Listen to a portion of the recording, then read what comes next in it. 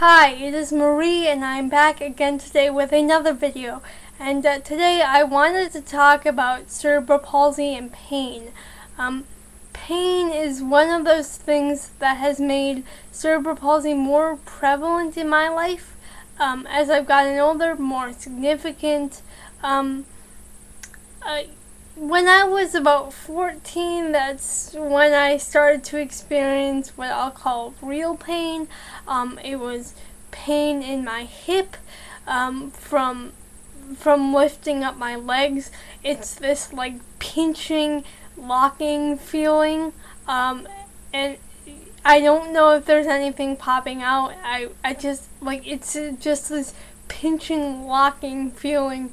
Um, I started to experience in my knees, especially my right knee, um, because my left side of my body is weaker than my right, and so when I walk, everything just kind of falls onto my right knee. Um, when I run, same thing there. I started to experience more pain in my back. Um, whereas when I was a kid, I would experience things from stationary things, you know, like if I stood for too long, um, or if I if I sat up for too long, um, then I would experience pain. Um, and, and and so when I got to around 14, you know, it was like this whole new thing that I never experienced before, and I I still live with it today. Um, However, and I, I, I realize this is going to be weird for some people. Um, when I was my freshman year of college, about two months into my freshman year of college, I started drinking um, what is called yerba, yerba mate. Traditionally, it is served in a in a gourd with a bombilla. That's the straw. Um, it's popular and Argentina, southern Brazil, uh, Uruguay, Paraguay. Um, I just started drinking because I wanted to, um, and then all of a sudden I realized I have no pain in my hip, um, I have no stiffness. Um, when I wake up in the morning, I have no stiffness in my legs. Um, I have no pain in my knee. I can actually move. Um, and so, like, I, I realize this is odd, but it's part of my experience, so I wanted to share. Um, I'm not advertising, I just wanted to, to put it out there that um, I, this is something that has helped me. I, you know, do with that what you will.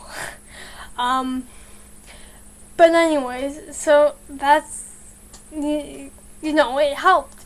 Um, meeting people also helped me um, with my pain experience. Um, you know, growing up, people would be people without cerebral palsy. When I complained of my feet hurting, when I complained of my knees hurting, especially with my with my feet, they would say, "Oh, you just you need new, new shoes. You need more support in your shoes." And I could totally understand where they're coming from, right? Because they're coming at it, they're answering my questions, my concerns with their own experience. And, you know, cerebral palsy is not a part of their experience. Um, so it's difficult to think that they would consider cerebral palsy as a cause of my pain. Um, and so that's where meeting people with cerebral palsy who actually have cerebral palsy as part of their life experience has helped me, um, and it's made my pain uh, more easy to deal with. Um, and I can deal with it better. I can manage it better. Um, you know, it's it's it's a shame that I have pain, um, because it really does limit your mobility, um, and you've got to keep it in check. Um, and there are just times where it just hurts so much. Um, and even with getting on a bed, you know, sometimes that's that's difficult because you you, you feel like you can't move, and you, for me, it's like my legs have just like locked, and I, I I can't move my legs. How am I gonna get out of bed? Um, so meeting people um, drinking yerba mate uh, has, has helped me um, a lot, actually. Um, and, and, and so that's all I got for today. I will say goodbye, and I will see you in the next video.